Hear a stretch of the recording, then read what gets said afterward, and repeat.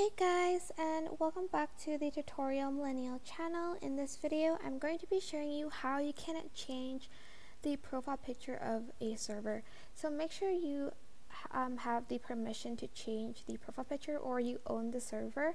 To do that you are just going to right click on the server's name and go to server settings and go to overview sorry overview. And then you are just going to press change icon or upload image. Um, and select a picture and you can zoom in and zoom out to like make it a profile picture. For instance you want it to be kind in the middle. And after that you're just going to press apply. Don't forget to press save changes and press escape. And you're done. That is basically it. I hope this tutorial was helpful for you guys don't forget to like, comment, share, and also subscribe to this channel if you haven't done that.